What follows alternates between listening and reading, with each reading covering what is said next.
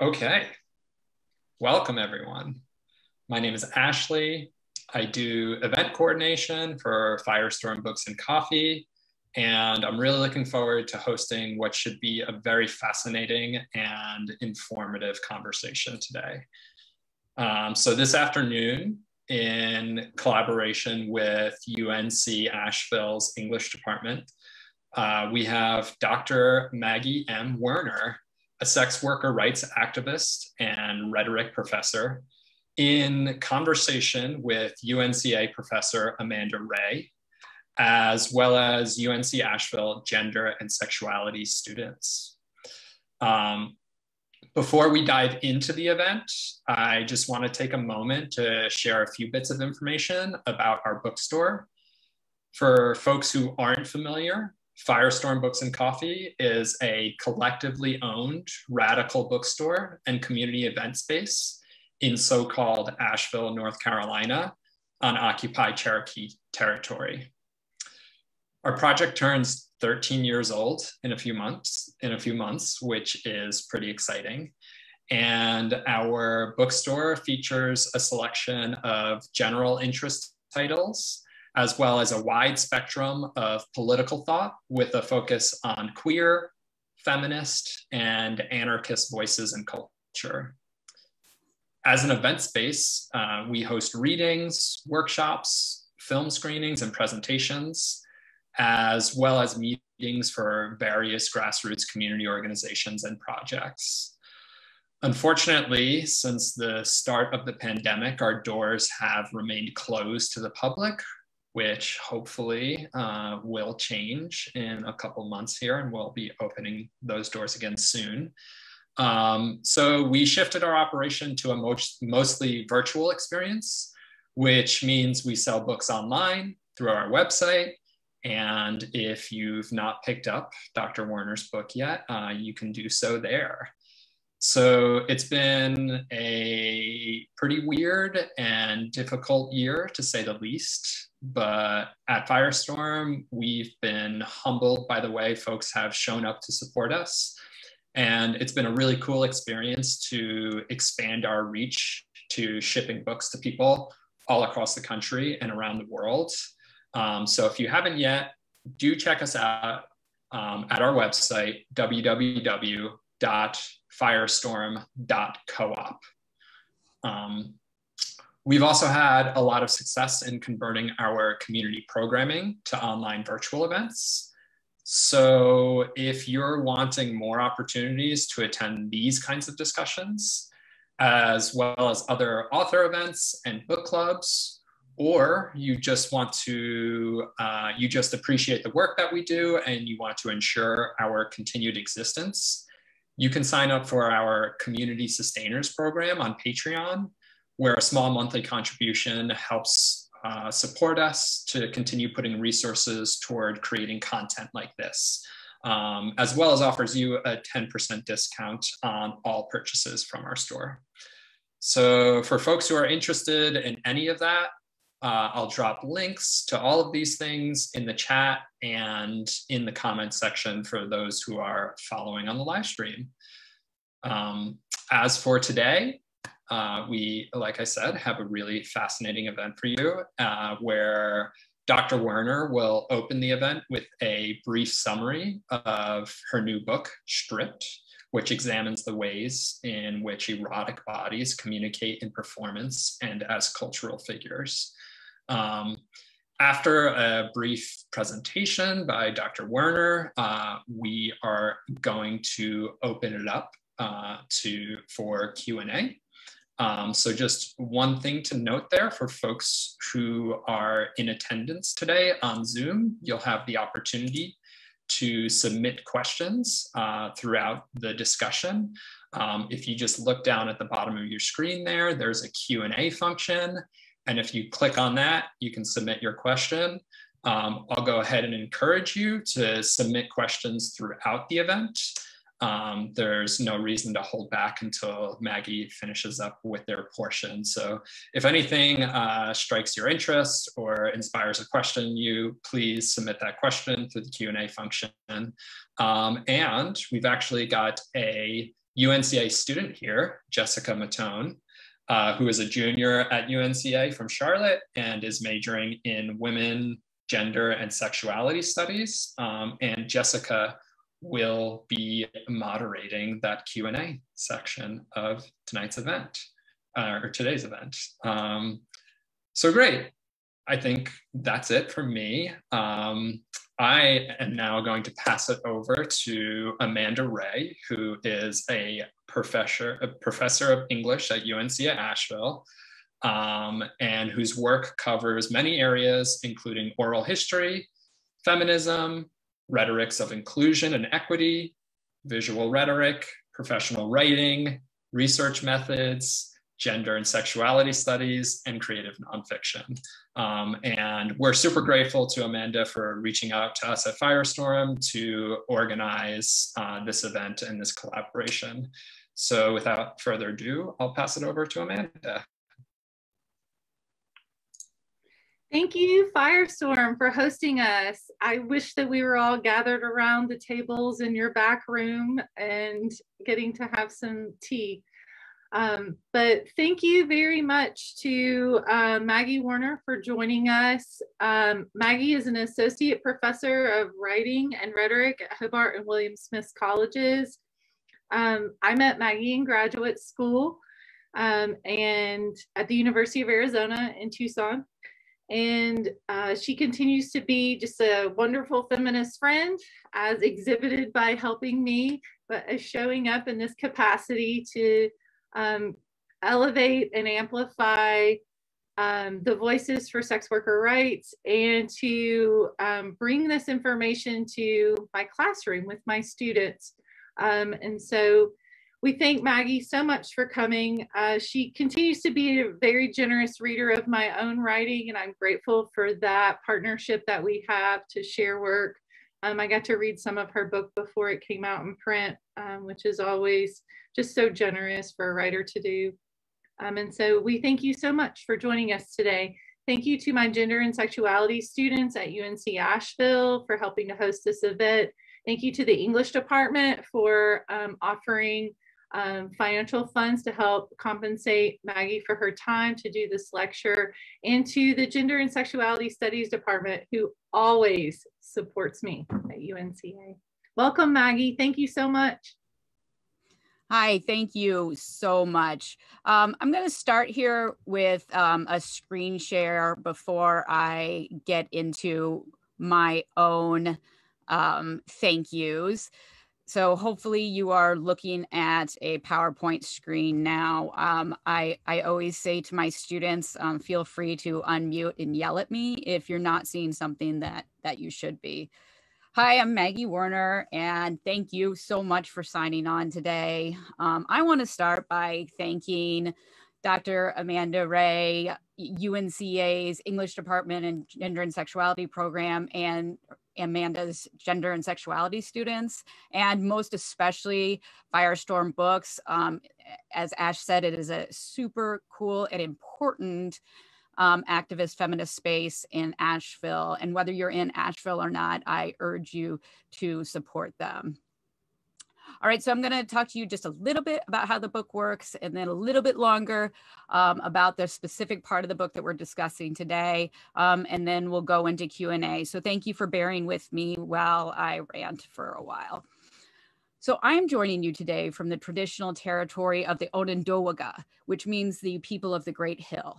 They're one of the six nations that make up the Haudenosaunee Confederacy. So thank you always to the Haudenosaunee people for continuing to host me.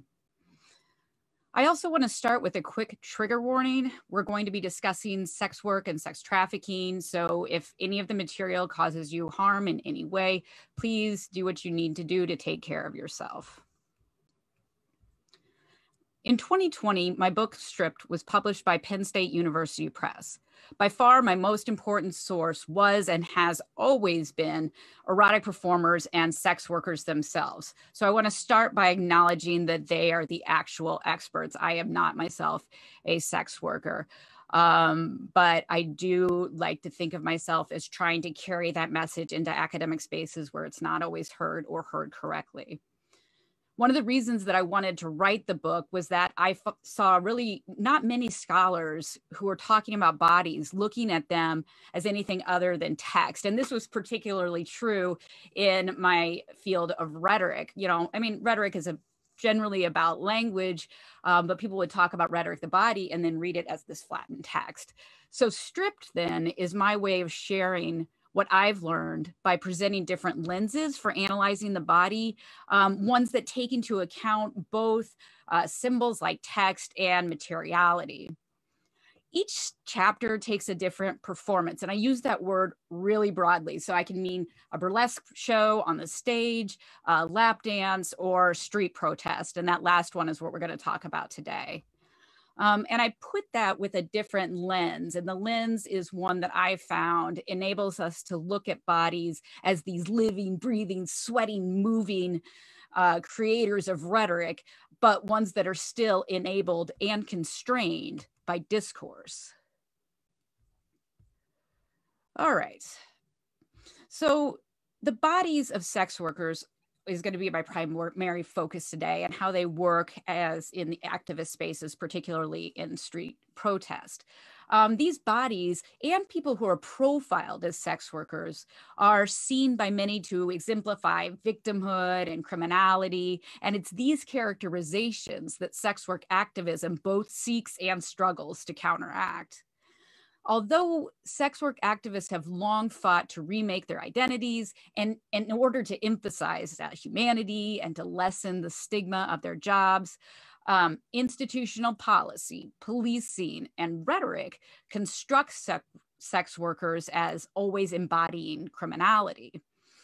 Now, there's another story too, and that's comes from certain feminist and social service analyses um, that argue that sex workers don't exist. There's only prostituted women whose bodies aren't in their own control, who are victims or survivors of abuse and rape, but who are not, who cannot be workers. Now, I'm going to talk with you about what I found when I analyzed the 2018 stripper protest in New Orleans. Protest which show the body playing a significant role in remaking, or what I'm going to refer to today as rearticulating, sex worker and, in particular, stripper identities. The protest followed a series of raids by police in clubs on Bourbon Street. Now, the analysis frames these protests in the context of the ongoing struggles about sex worker identity. And I suggest that stripper protesters embodied counter stories bolster efforts to reframe identity. Um, and that's because through protests, they're visibly refuting common narratives of victimhood and criminality. In this particular analysis, I use the theory of articulation. And it's a complicated theory but it, it, what it boils down to is that all identities are composed of connected or articulated. Articulate just means join together. So like this joint here that's a point of articulation. So identities themes produce elements. Elements are joined together articulated to make identity.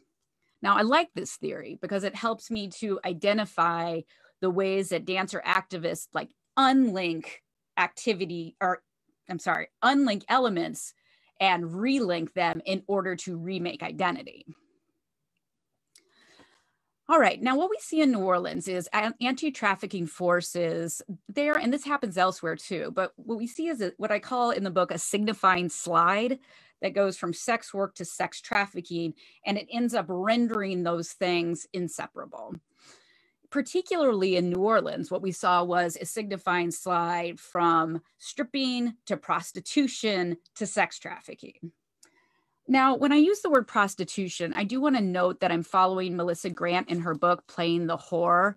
Um, I'm doing this specifically because it's a term that's central to the debates and in anti sex work discourse. Uh, prostitute is not a preferred term. Um, also, I highly recommend this book if you are interested in sex work. I learned very, very much from it.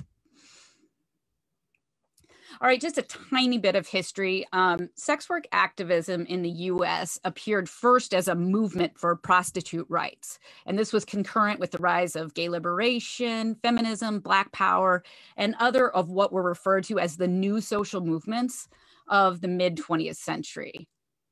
Initially framed by discussions of sexual liberation and women's rights, by the end of the 1970s, activists had begun to articulate a new identity for themselves, and that was that of worker.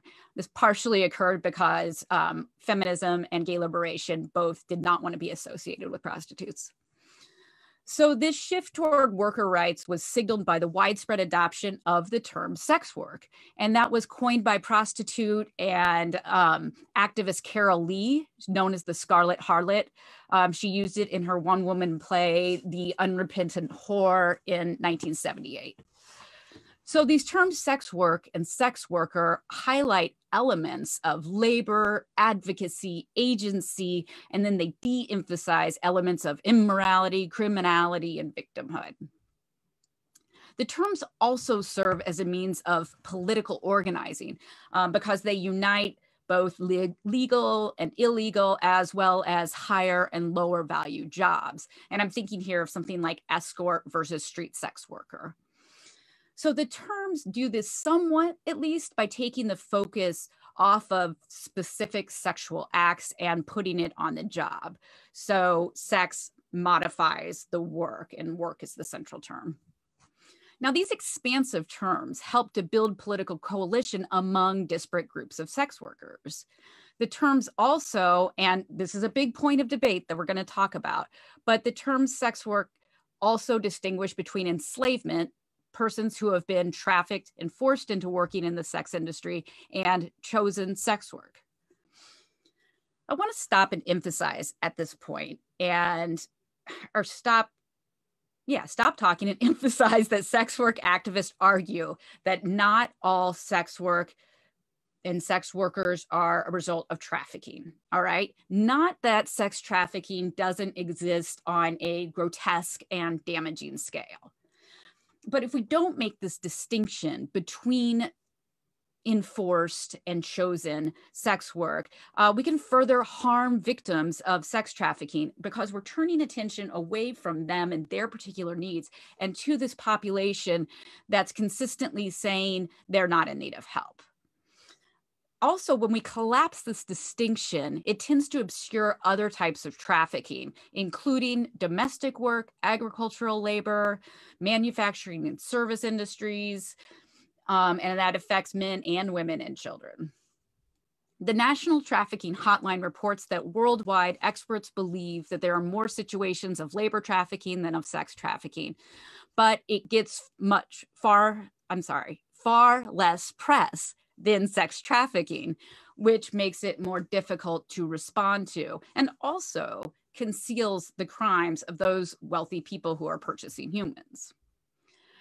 All right, so in addition to the problems evident in conflating chosen and forced sex work, the element of choice itself is a complicated, I, we can even say fraught one.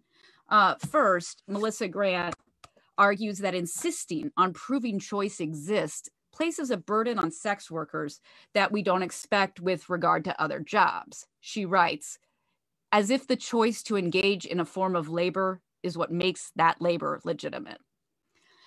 Second, it's important to note that the idea of choice is fairly moot in a capitalist society organized around vastly unequal distributions of resources. While one may choose to do sex work rather than work at a lower wage job with more time restrictions, this choice is not a free choice. It is dictated by material realities. All right, so sex work and sex worker are inclusive. They can build coalition, but as part of that, they can also obscure many legal and personal privileges that are granted to higher static workers, status workers. For example, people who work as legal escorts perform, perform their work indoors, they're protected by law, and they can earn high rates. While people who sell sex on the street are performing illegal work outdoors and generally for less pay than legal escorts. So the term sex work, like the work itself, is deployed unequally. And street sex workers, in particular women of color, in most particular trans women of color, bear the brunt of the personal and institutional violence leveled against all sex workers. All right, so let's step back and those are the benefits and some of the constraints of the term sex work. Now let's look at the antagonistic argument um, that disavows the use of the term sex work. A common argument about sex work and sex worker is that they don't exist because they cannot exist. For sex work antagonists, freely chosen sex work is a fiction because one cannot choose to be a slave. Therefore, all sex workers have been to one degree or another trafficked either explicitly through kidnapping, isolation, threats, abuse, or implicitly through poverty, racism, and sexism. So, to antagonists, the term does not represent this grassroots laudable effort by activists to re articulate marginalized identities. It represents a top down marketing campaign by men who control and profit from the sex industry. All right, what you see here is an open letter from the associate to the Associated Press from the Coalition Against Trafficking in Women. Um, this is a letter from 2014 after the AP adopted the terms sex work and sex worker. The letter demonstrates the rejection of these words as, as acceptable terms. So it represents both arguments about that particular phrase and the core of the debates about um, between anti trafficking, anti prostitution activists, and sex work activists. Several important themes in this letter explain why antagonists reject the term sex worker. These themes produce the elements that sex work antagonists link to create the identity of the prostituted or trafficked person. First, the theme of prostitution both counteracts the expansiveness offered by sex work and narrows it down to focus on a mostly illegal job with entrenched negative associations. The second theme is social status and gender. The coalition letter ties sex worker not to the people who perform the labor, but with the traffickers, pimps, procurers, brothel and strip club owners, and the buyers of sex. Now, these people are labeled as beneficiaries, and workers are defined as vulnerable individuals marginalized by poverty, homelessness, racial and gender discrimination, and histories of sexual abuse. The last theme in the letter that's stressed is ownership of the term sex worker. Now, the coalition makes a really clever rhetorical move here by saying that the sex work was invented by the sex industry and its supporters rather than Carol Leigh, the letter implies a different history that men in control of the industry, not the workers, created the term sex work. This underscores the coalition's argument that sex worker agency is a fiction by removing the power to self identify. All right, now that you have some context for the overall argument, I want to show an example of a protest in which bodies um, countered these narratives um, by presenting counter arguments. All right, the next slides of protest that you're going to see come from New Orleans in 2018. Over a period of 10 days in January 2018, Louisiana Alcohol and Tobacco Control, the ATC, and the New Orleans Police Department, the NOPD, raided and shut down eight clubs in the French Quarter after months of undercover operations instigated by claims in a local newspaper that Bourbon Street strip clubs were a hub for sex trafficking. Club closing club closings after the raids resulted in hundreds of dancers being out of work.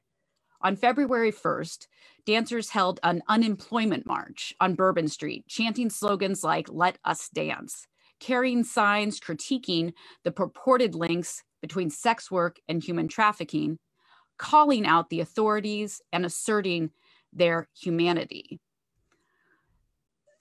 Now, this clip I'm going to play from dancer activist AZ sums up these themes, and I've got the text up here in the left corner.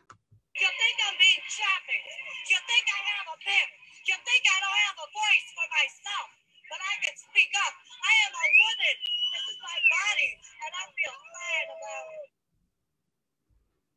Here, AZ asserts her authority and her bodily autonomy, two things that her opponents claim she doesn't have. Not only does she reference her body and her ownership of it, she's doing so while standing in a protest march, identifying herself both as a stripper and as an activist, defying the stigmatized identity that the discourse of the raids has put upon her. She uses her body to re articulate her identity as a worker, as a woman, as an activist, rather than as a slave, a victim, and a criminal. All right, um, I'm going to step back just a second to step out of my presentation mode and discuss what we see here on the slide. Um, these are some signs from the unemployment march. On the far um, left of your screen, you're going to see one that says Mitch and Shitty Hall are NOLA's biggest pimps. This is a reference to then Democratic Mayor Mitch Landrieu. Um, in the middle is a real common sign in sex worker activism. It says, Stop saving me.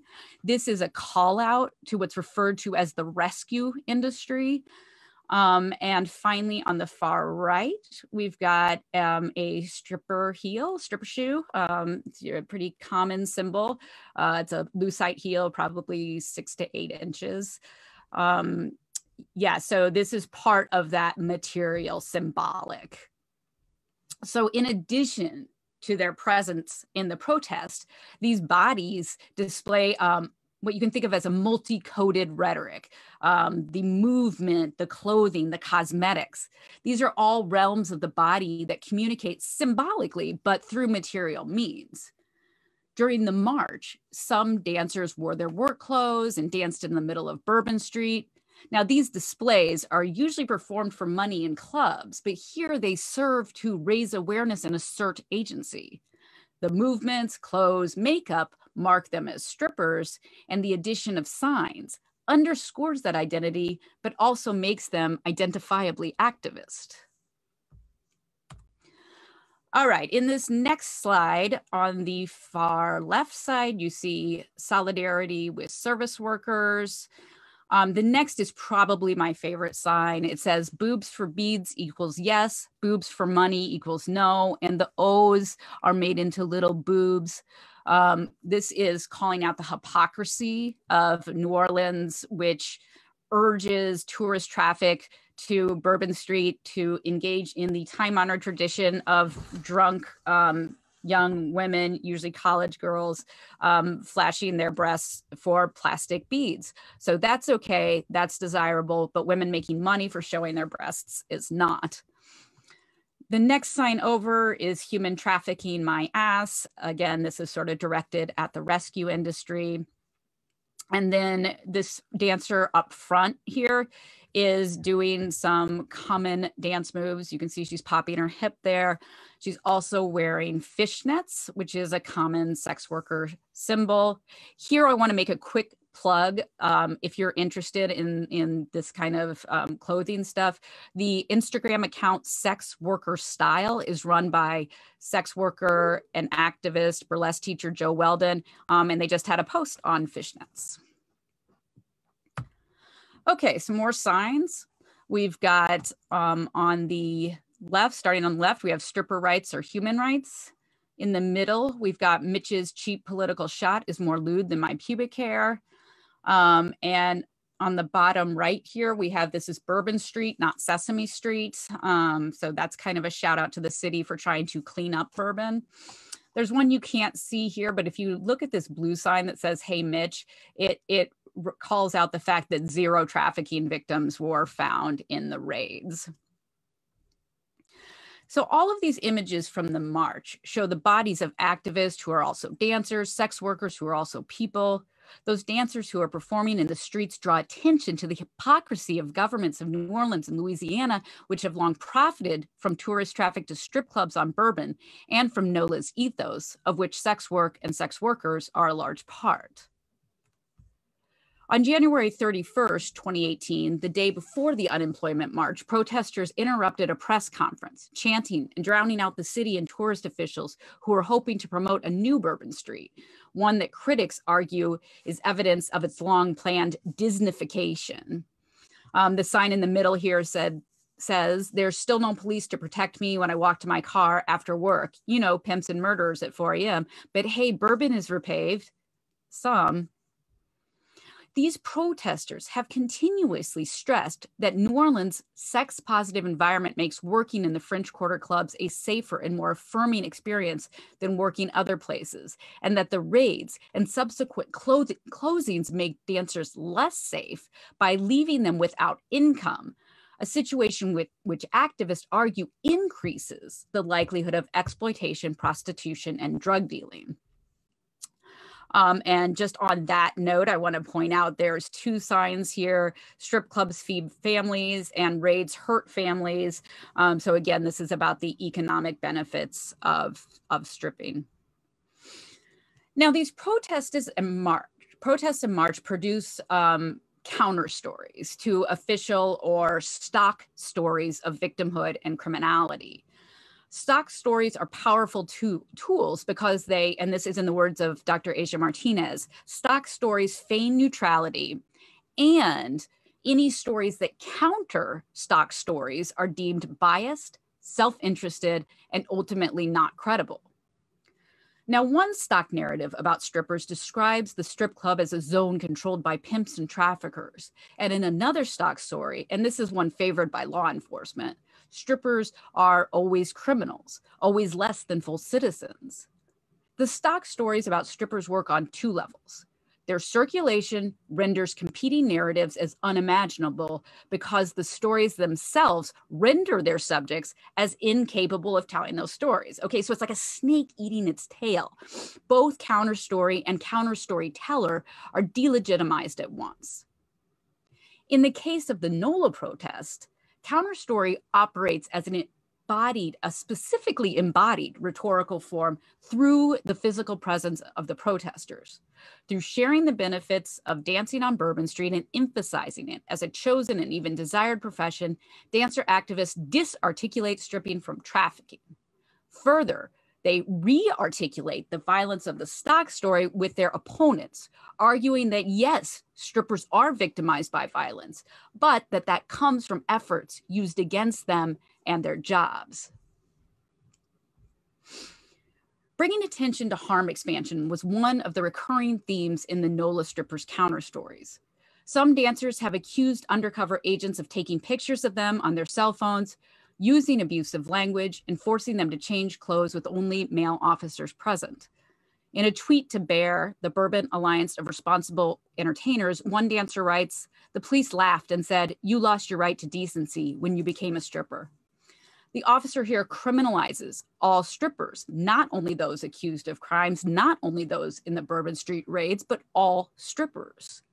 He represents law enforcement and the legal system and all those who denigrate and harass dancers in the name of harm reduction. By sharing their experiences during the raids and asserting their rights, these dancers stress both their humanity and their violation at the hands of the officers, offering counter stories to stock victimization narratives. However, as the police state in the US repeatedly makes clear, an assertion of rights is far from a recognition of rights. History shows that workers in industries that employ large numbers of working class women, and in particular women of color, are rarely listened to. But whether or not they are heard or willfully ignored, the Bourbon Street protesters demonstrated a powerful embodied rhetoric. Their bodies tell counter stories about their bodies, about dancer activists who are not only waging a battle for their jobs, but also for their existence. Thank you so much.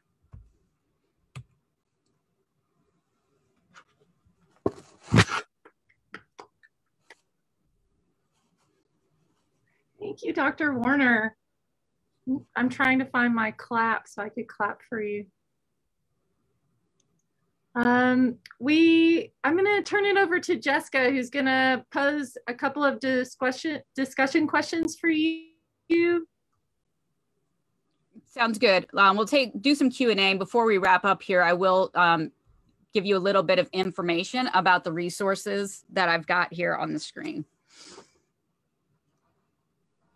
Awesome, thank you. Um, so the first question that we really wanted to ask you is what motivated you to advocate and to speak out for sex workers against criminalization of the industry? All right, thanks. That's a really good question. And I'm going to take it, but my nose is itching really bad. So everybody hang on. Okay, thank you. I've been like dying to do that. Um, I don't, there's no easy answer to that. It's a good question. I think I was motivated by a few different things personally. Um, one was just my, I, I, had an interest in sexual rhetoric for a really long time and sexuality. Um, and then my time in graduate school, um, spending time in strip clubs, uh, made me sort of see like sex work up close and personal. And also, I mean, oh gosh, I was uh, I was benefiting from that sex work, you know, I and I didn't see um I didn't see what what other people were saying was going on there. Um and then I started writing about it and it would just be like it, it's the the the word I followed uh, feminist action research principles.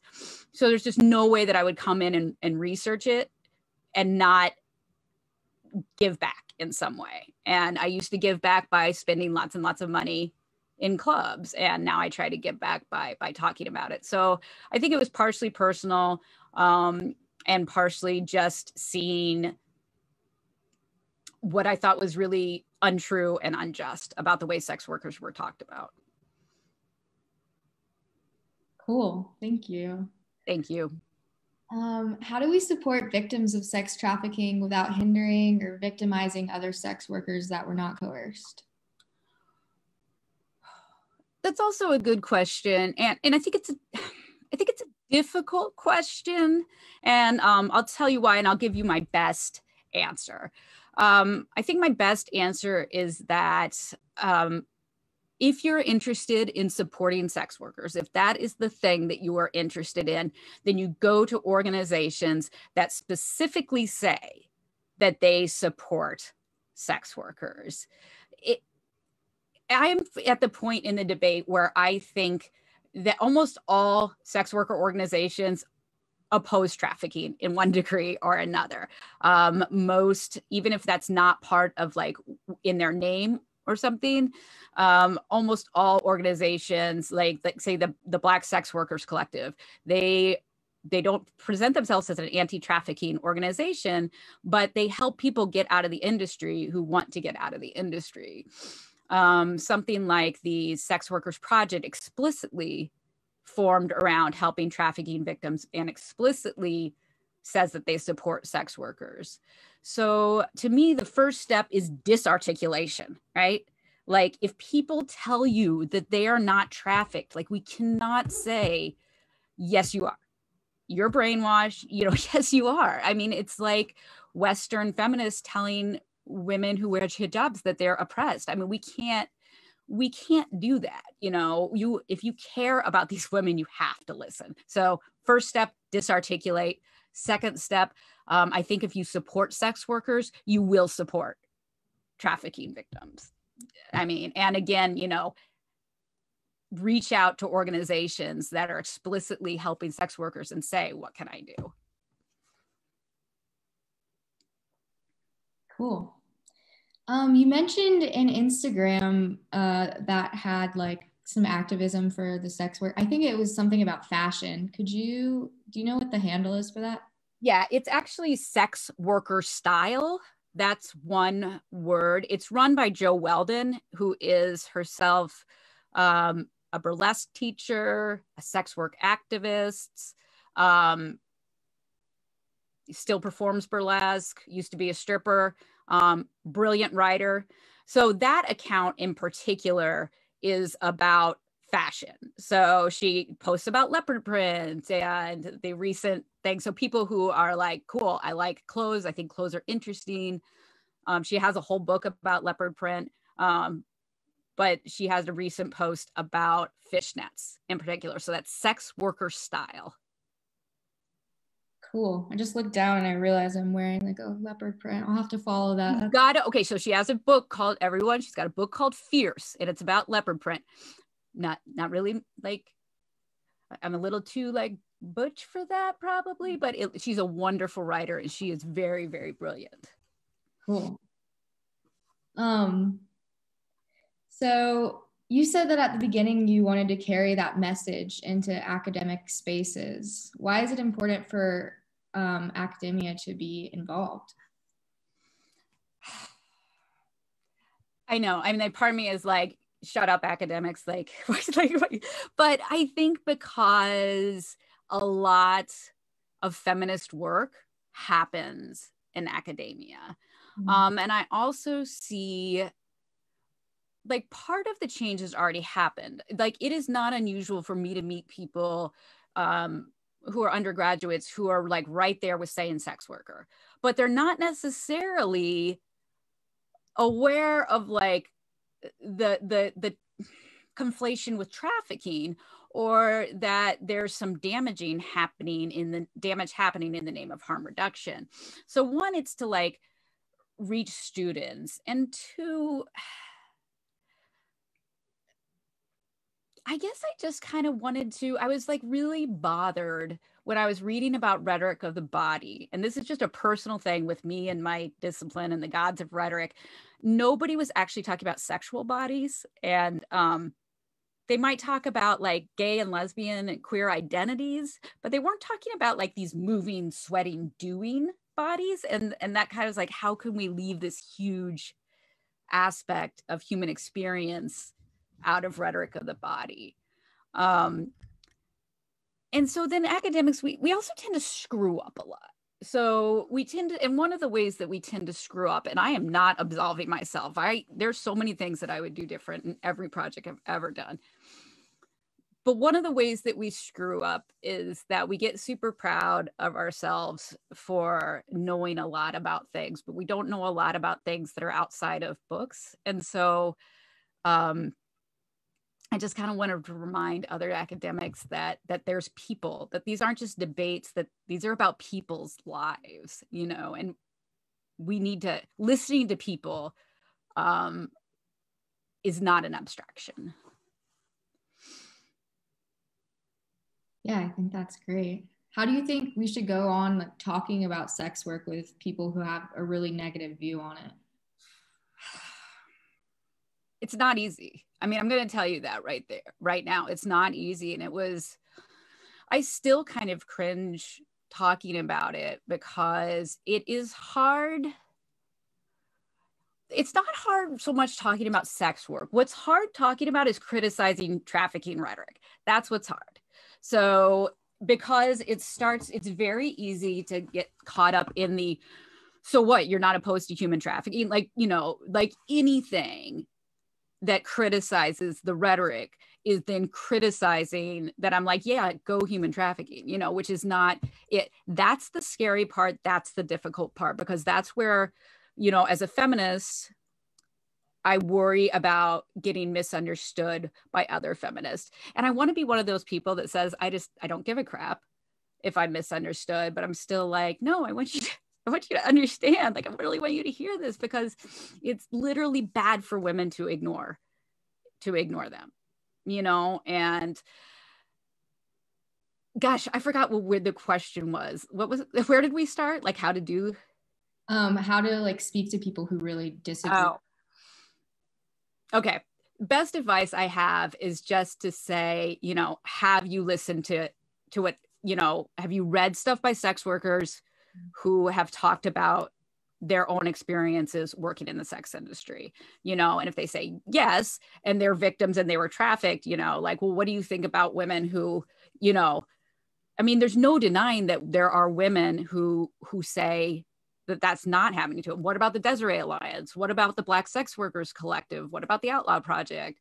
You know um, what about SWOPs? Those are sex, sex worker out, out, outreach projects you know and just sort of like i think as long as you what's the word that's um, popular? Um, push amplify. As long as you're amplifying the voices of the workers themselves i think that you've done the most that you can do. And at some point you have to you know say that what you're concerned about is helping women.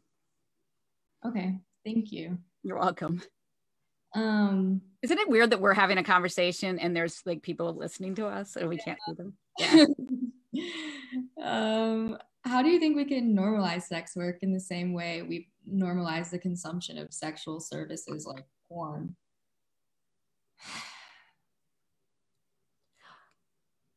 Yeah. Okay. So I'm probably going to do like the annoying academic thing. I'm going to kind of redirect that question because um, th- this is Mia. Um, because I don't think porn consumption is normalized. Like, I think that there's a difference between being um, abundant in a society and being like, it's no big deal. You know, I do think, I mean, if you think of some ways, I mean, when in the 70s there were big screen movie theaters showing two hour long porns that people would get dressed up and go out to have like nights out on the town you know you know in some ways it's become more sh- like shameful and hidden um than in some of its heyday. So so i don't actually think porn has been normalized. I think it's still kind of a um a dirty secret. I do think that what we've seen is we've seen things that used to be considered pornographic in sort of mainstream culture. You know, like even I, I this is something that happens, Jessica, since it's just us here. You know, what you'll see when you get older is there's stuff that you watch and you're like, oh my God, they're showing this now. And I mean, I used to be, I was like always consider myself a sex radical. And now I see stuff on TV and I'm like, oh, they can just say blah, blah on TV now. Oh, okay. so i think that in some ways we've seen things that used to would have not been in on like um, television shows on and and in music and in movies but in other ways i don't think that necessarily means that it that it's normalized. So i think that that's that's part of the question that that i would redirect. I think the the more critical question is how do we sort of take stigma off of sex work? Um, and really all we can do for that is just to sort of like watch our own language you know watch like use of like talking about whores you know like using that term listen to our language why are we doing it? It's really easy. And as a feminist this can be really easy too to denigrate men who visit strip clubs. And let me tell you another reason i wanted to do this work is because I was reading all this this stuff written by strippers and it was like it was psychologizing men who went to strip clubs. At the time that I was at my top going to strip clubs 5 times a week and I'm like wow so am I all these things? You know are these you know? So I think it, it's hard at, to sort of take that to stop assuming that people who consume sexual services are somehow um, sick or less than or you know or anything other than meeting certain needs in certain ways. Yeah. All right. Um, why do you think sex trafficking has been associated with prostitution?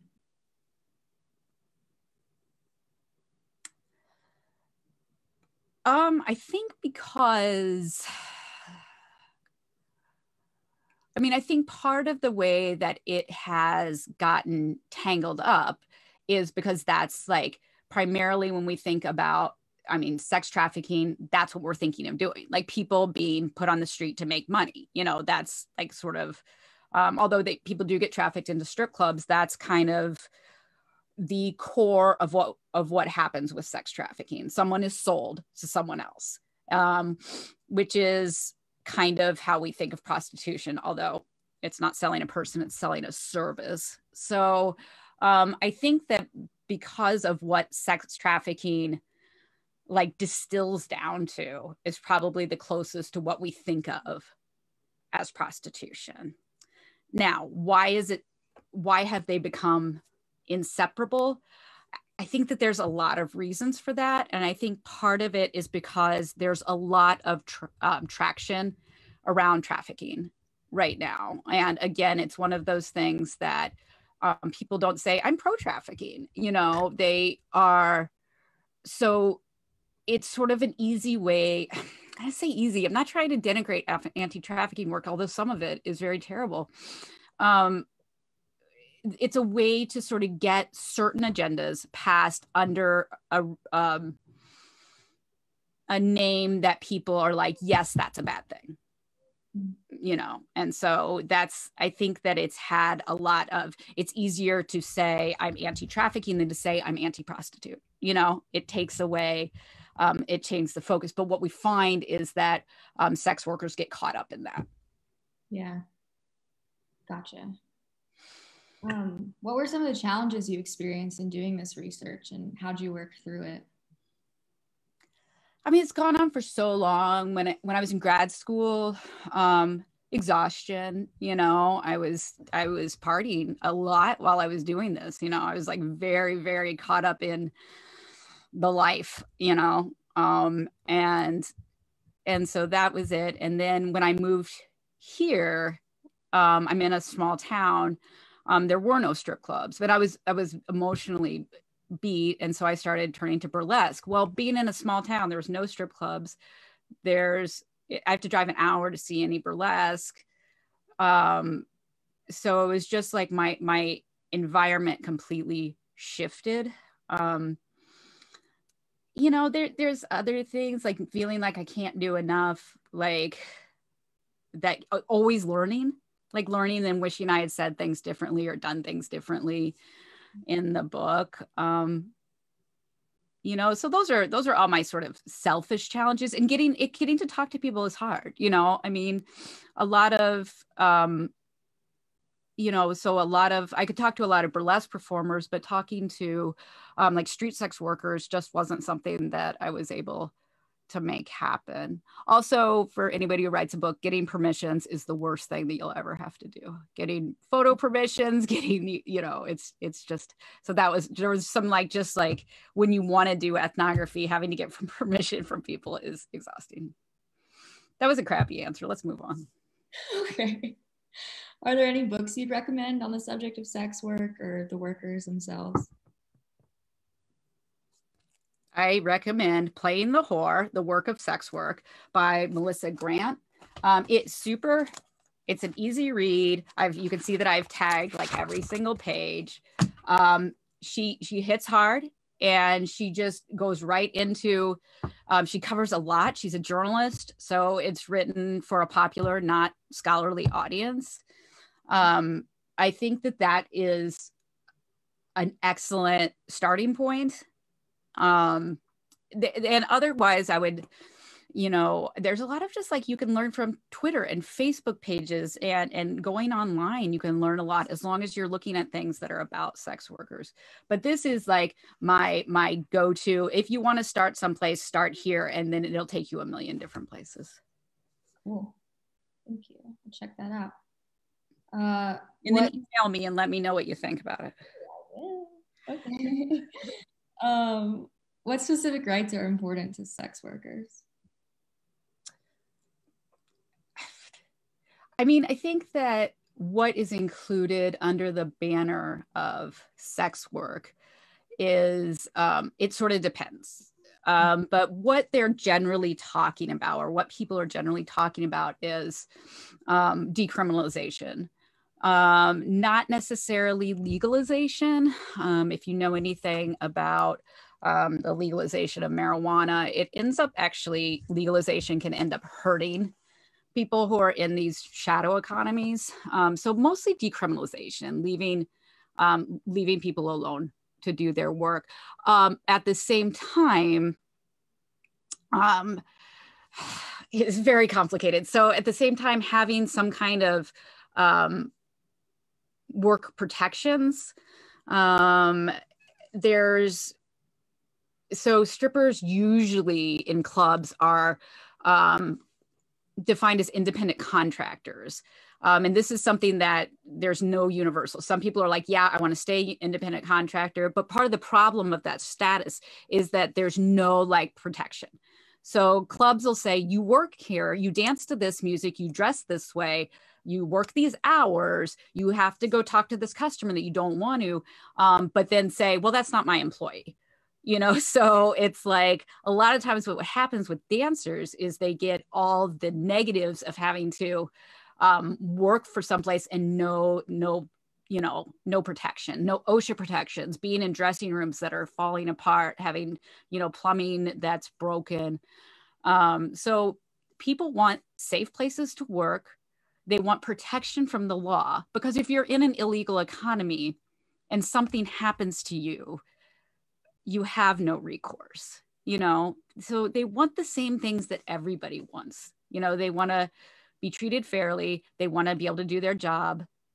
They want to be able to earn you know money um, and not be sort of the dredges of society in the way that they're talked about and treated they're people you know Yeah.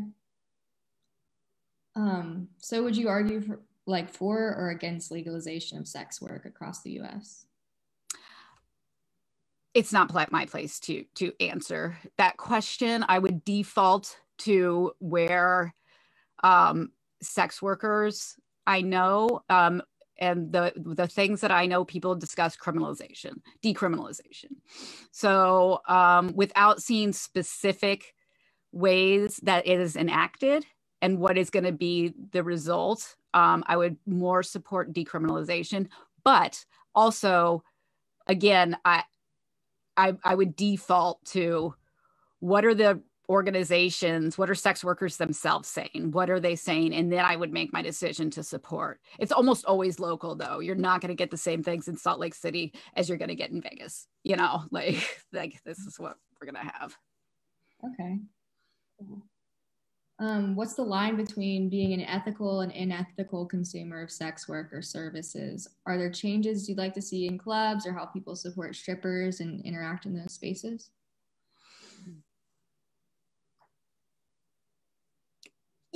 Okay. Um, I mean, I think that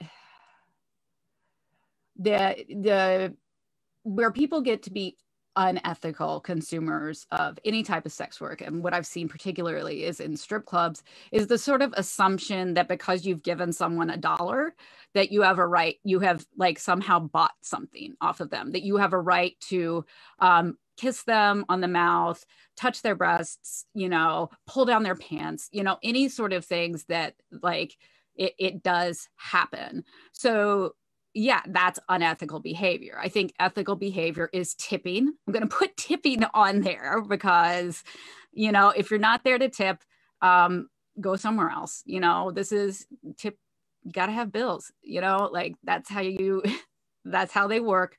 So tip, um, treat them as people, treat any strippers and sex workers as people. They're people, but also understand that your money is buying you a service, it's not buying you a person um, and they ultimately have bodily autonomy, um, even though, yes, you threw a dollar bill on the stage. Changes, it's too location dependent to say. Um, but I think really having um, women who are workers having some kind of sense that, you know, problem is that most clubs are owned by men. Um, and and there's just not a lot of of women who have power in these situations. That doesn't mean you can't have an ethical strip club that's that's run by a man. Um, but I think it's it's just too it's too loose and unregulated. At the same time, we got to understand that regula- regulation would bring with it harm probably too and risk putting people out of work. So the thing I want to see is the most women making the most money in the most healthy way possible with their their arts. Right. Okay. Um, well, that's all the questions I've seen so far. Uh, Can I ask a question? No. um, so you said earlier that you know you would maybe do things different if you were going back to redo this project. Um, I can imagine what some of those differences might be, but I just wonder in terms of like gathering voices in your research, um, what might have been some of the things you would have done differently or more of or less of or um, more trans women, more black women. Like just um, you know, I can make my excuses for why those things didn't happen. Um, but it's it was that's that's what needs to happen. I, you know, um, particularly trans women's voices, because I was mostly dealing with burlesque and stripping, and trans women aren't found. There's there's a great tra- quote by a trans woman to say they don't want women like me in there. So um, strip clubs tend to be around a certain type of of women, and they tend to um, shun trans women. And that doesn't mean that there are no trans women working in clubs, but that would be something that I would have liked to deal because the most precarious sex workers in general are black trans women, you know. And speaking of um, when I talked about the signifying slide, like all strippers become um, prostitutes, become trafficked people. Um, what happens with Black trans women in public is that they automatically become prostitutes. You know, there's a phenomenon called walking while trans, and this happened to Monica Jones, um, who is a master's student in soci- uh, social work at the Arizona State University, and she was arrested. So uh, it's like so many black trans women are arrested on suspicions of sex work or they're somehow they are sex workers because they're black and they're trans you know? So they're talk about like the way that these discourses shape bodies. Um so yeah that's i think that's the big one amanda. There's there's other things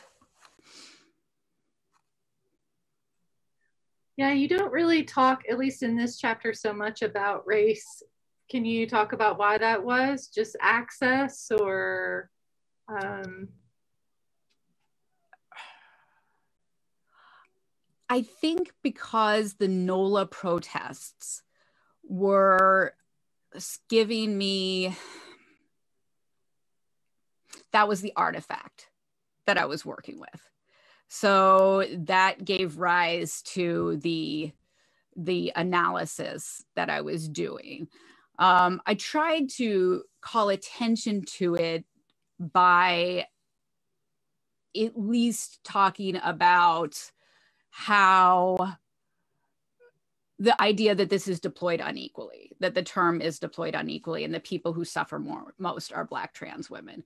But in terms of the oh, and the the coalition letter um, brought up the idea of, of racialization, you know, that racism is what leads to women into prostitution. So um, it was there, but it wasn't a an element that I particularly fo- oh, and I um the quote from AZ, she's a woman of color. So it was like it, it besides it was it was just kind of embedded in what I was doing but you know it's a fair point. There's um in the introduction I, what i say is that race is always a part of what we're doing you know? Race is you cannot separate you can't talk about these things without talking about race. Yeah.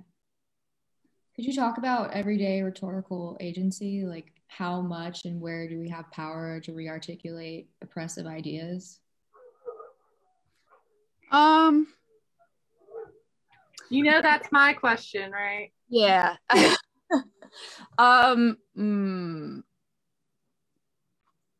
So, in articulation theory, Stuart Hall talks about how some articulations are more tenacious than others. So, they grab on more tightly. So, here, think of a, a train. Like trains are a common like metaphor for articulation because they're joined together at that articulation point. So, say you've got a train and its little ball joint there is rusted and you can't pull it apart anymore. That's a tenacious articulation. So, power is the thing that makes some articulations more entrenched and more difficult to dis and rearticulate. So, I think it's difficult to say, like, these are the situations where it's hard, and these are the situations where, where it's possible. Now, even though some articulations are tenacious, articulation, rearticulation is always possible. So another thing, important thing that Hall says is that those connections are non-necessary. All right. So that means that they're always capable of being dis and rearticulated. So that what that means for everyday sort of activist language is that we can always speak to rearticulate. You know, we can always be articulating the identities that we want. Now,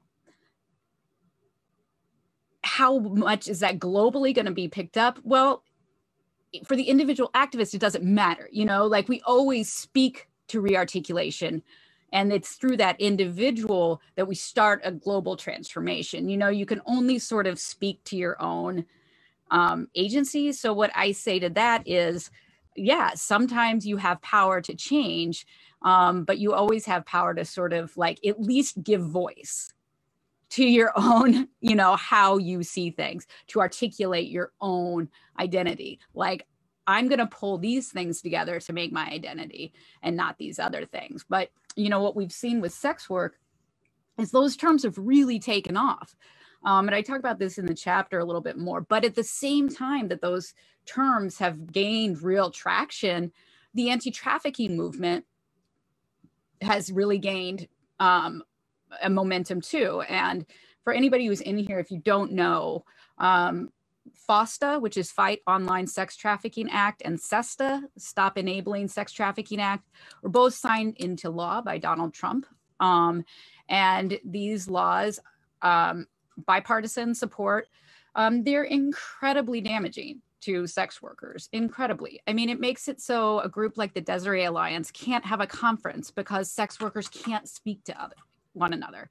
Like sex workers can't reach out to each, each other over digital environments or they'll be arrested. You know, like there's ways that all this is to say that so that rearticulation of sex worker has taken off, but it hasn't stopped this other the sort of like nightmare of of um, bad trafficking laws taking over it. So that doesn't really answer your question, but it's just like we always it, it's always dependent. It's but you always have the right and the ability to speak it. In the book, you take some real risks like sharing personal information and telling parts of your story and just your as you were with us being really transparent about your presence in the strip clubs and and that kind of stuff. I wonder like were you afraid about being transparent about that? Um you know how how do you make that decision to just like go all in like that? Yes i was really scared and if my mom's in here today i was scared partially which i think she is i was scared partially because i knew my mom was going to read the book so everything that i was doing i thought well my mom's going to read this um, so that was one of the first like things that was hard to talk about now i actually have a really um, specific moment when it happened to me. I was really struggling with it. And I went to a reading on campus by a writer named Melissa Febos. Um, she wrote a book called uh, Whip Smart. Um, and now the other book is it's not down here, of course, is I'm blanking, but but she just like straight up was like writing really explicitly about um, these lesbian sex scenes and she was talking about giving a reading with her like dad in the front row and i'm like oh wow wow and i was just like that's super brave, you know? And so I was like, I respect Melissa Febos. So, she's a brilliant writer. I respect her so much. Um, I need to just be brave, you know, like I just need to, to be brave.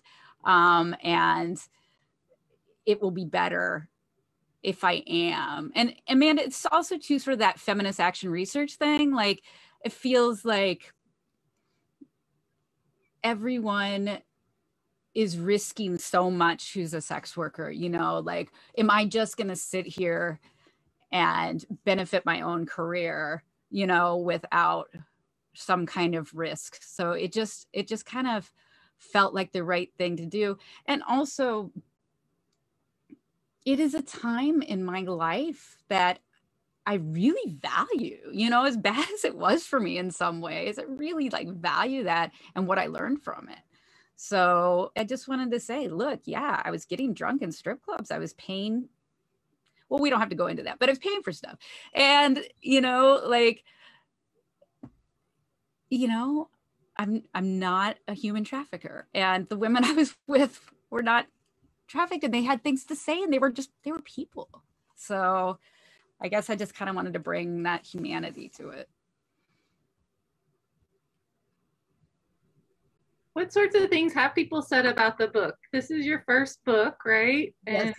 how's it feel to get a book out and what sorts of things have you heard people say about it um, well not a lot because i was expecting to do to be traveling and um, giving readings and promoting it. And thanks to you and firestorm this is the first moment that i've had to sort of do that. Um, so, so i don't really know. I don't really know what reception um, is is um, to it or is it going to be. I mean all my friends are like that's cool. Um so yeah i don't know i don't know what else to say. I don't i don't know what response is going to be. I think people are buying it though. It was on the book authorities lists of the um best new books in rhetoric. So that makes me feel pretty good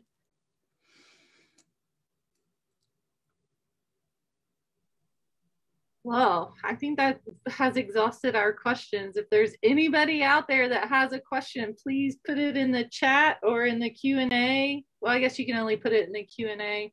Jen Heckler was here earlier. She said to tell you hello, Maggie. Um, oh, She had to go, but she said, um, I wish I could say the entire time, but she has another meeting.